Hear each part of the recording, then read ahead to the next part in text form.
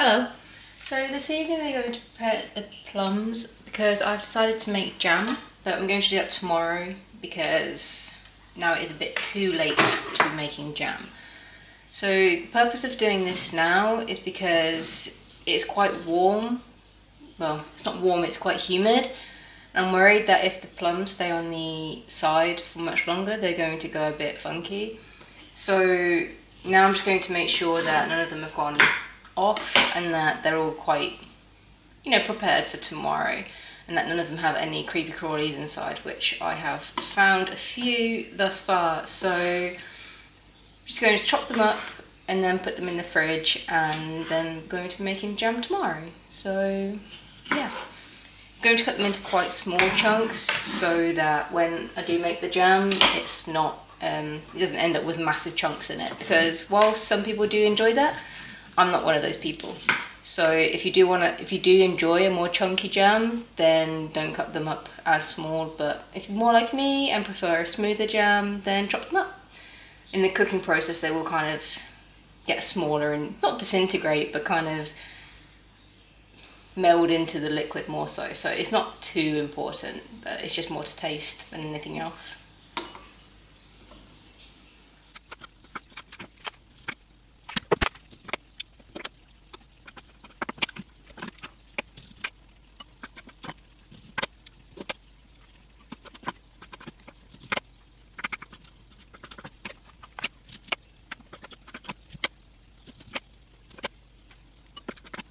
So we're almost at a, a, kilo of plums, so I'm only going to do a few more and then I'm going to call it a day. And with the other ones that are remaining, I'll probably make a pie or preserve them in a different way. But for now, I'm only going to use about a kilo of plums for the jam. So the other ones will just have to stay as they are and I'll just put them in the fridge in a separate bowl.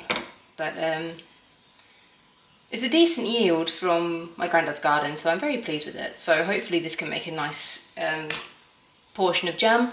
I've never made plum jam before because I've never had a yield, so we shall see how it goes. Hopefully it goes well and hopefully it's nice and I can continue to use plums from my granddad's garden and make preserves that I can enjoy with my family for the winter to come.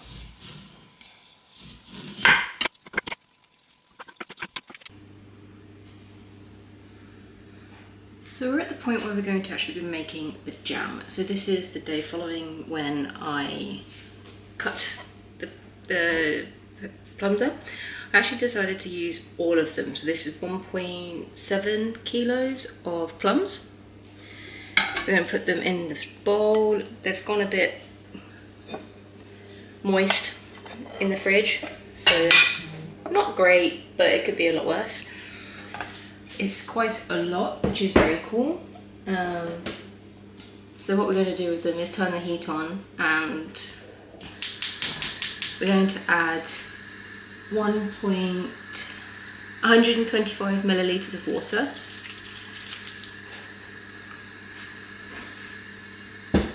And then we're going to stir this and the fruit will eventually start to cook and like reduce down. Then once we've reached that point, we're going to add the sugar. But first we need to let this reduce.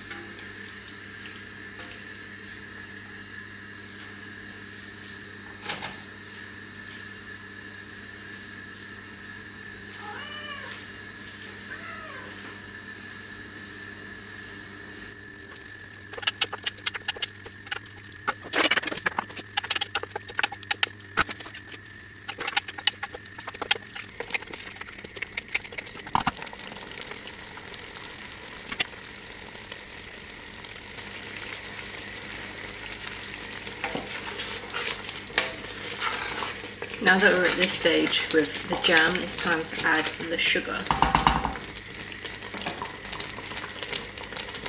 This is a lot of sugar, which is why we only eat this sort of food in moderation, because it'd be an issue otherwise.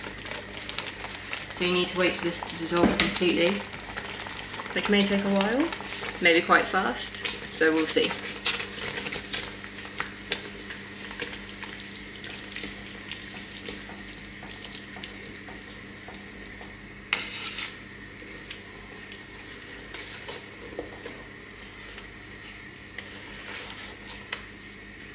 As well as the sugar, we're going to add a squeeze of fresh lemon.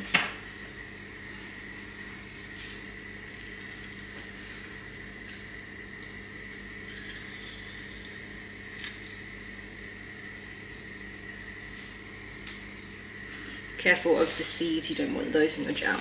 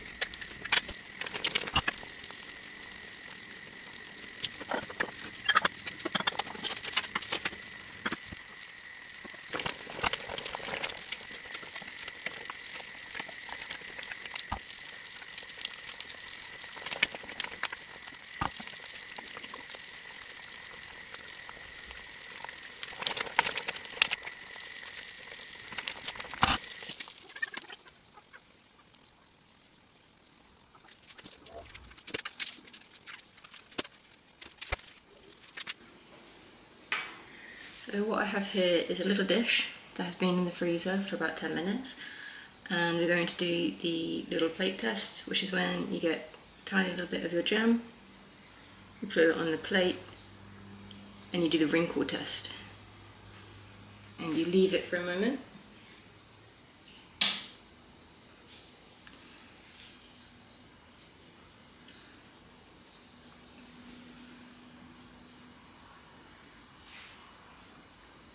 and then you push it with your finger to see if it wrinkles. Mm. It's not wrinkling, so it's not ready yet.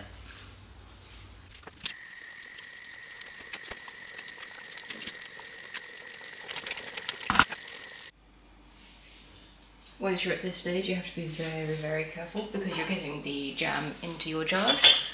But the jam is very hot and it will burn you something dreadful if you get it on your skin. So be incredibly careful.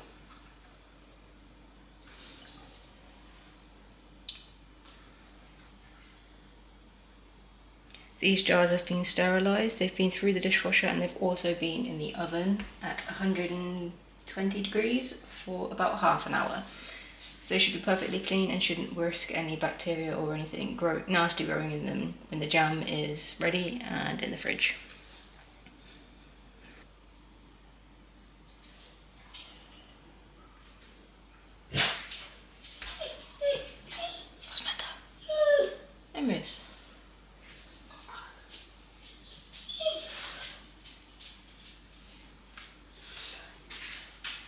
You want to leave a little bit of a gap at the top and then apply your lid.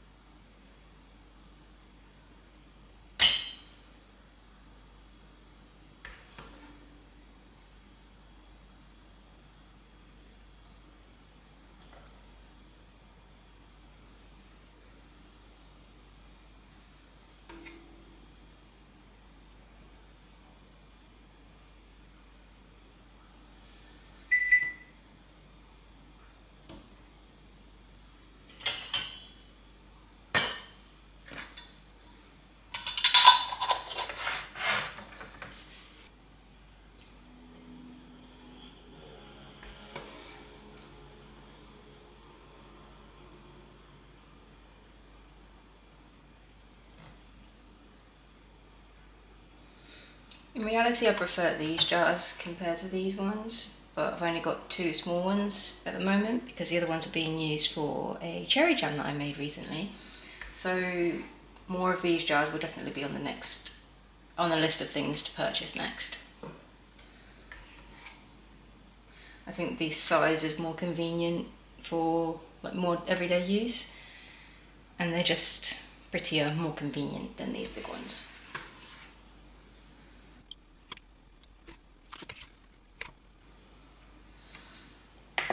Tell when the seal has popped on these as well because you can just push the top and once this no longer presses down then you know they are completely airtight and sealed and that they are good to go. Because this is very hot still, you don't actually need to can it in um, a hot bath. I mean that is an option that you can do if that is something that you prefer but I found this method is just as good and I've never had any problems with it so there's nothing to be concerned about.